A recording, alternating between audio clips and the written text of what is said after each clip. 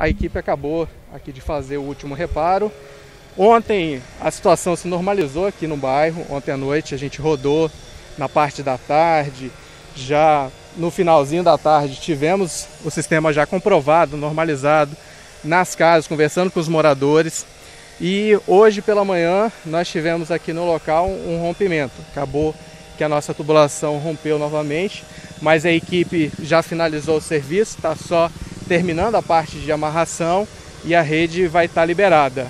Só que agora há pouco nós tivemos um outro problema, que o mesmo poste que foi acertado no sábado à noite, aqui na MT242, ele foi acertado novamente. Se eu não me engano, até onde eu tenho informação, foi uma outra carreta que acertou o poste e deixou a unidade sem energia.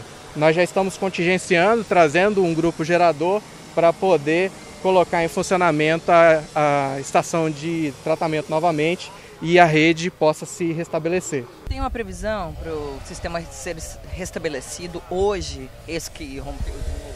Ó, o sistema aqui já está restabelecido, só que no meio dessa manutenção, como, como eu falei com vocês, nós tivemos aqui o sem energia nós estamos mobilizando esse grupo gerador. Se não fosse essa falta de energia, no máximo em duas horas o sistema já estaria a plena carga. Então nós estamos já mobilizando esse grupo gerador. É esse tempo de mobilizar ele para cá, botar a estação novamente em operação para que é, volte a rede ficar a plena carga. Nós é, conversamos com os moradores, com os moradores é, e o presidente do bairro aqui, no, no final de semana e já falando para eles o que, que nós estávamos fazendo para contingenciar, para melhorar a situação aqui do bairro, para que em situações futuras, que a gente sabe que Sorriso está crescendo, está expandindo, isso quer dizer obras.